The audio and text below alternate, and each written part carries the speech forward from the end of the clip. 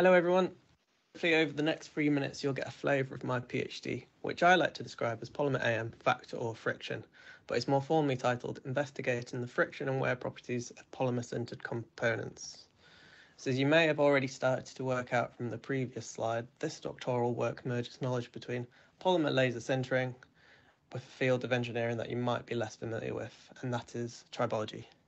So tribology is the science and technology of interacting surfaces in a state of relative motion, and it covers friction, lubrication, and wear in all mechanical contact situations.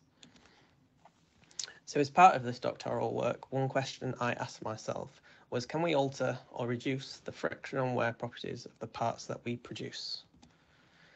And one potential answer I thought might be interesting to explore would be to see if including solid lubricant particles within our nylon 12 polymer matrices brought about any significant effect. So this is what I did and created three different composite powders which involved blending small amounts of gra either graphite, molybdenum disulfide or PTFE with nylon 12 via rotary tumbling.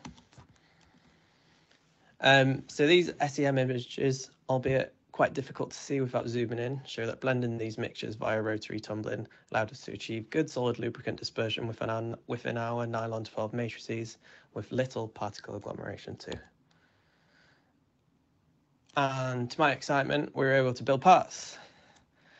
So now that we have parts, how do we go about measuring the friction and wear properties of these samples? Well, there are numerous ways to do so, but the testing configuration we decided on was by using a pin and disc setup which simply put is a very advanced record player where the vinyls are our laser sintered samples and the needle is our contacting steel counterbody.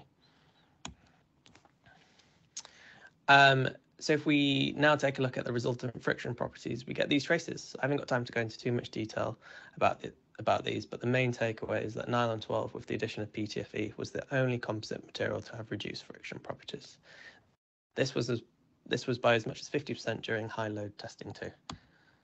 Um, however, conversely, when looking at the resultant wear properties, the addition of PTFE increased the amount of wear incurred, but the inclusion of molybdenum disulfide and graphite both significantly improved wear resistance.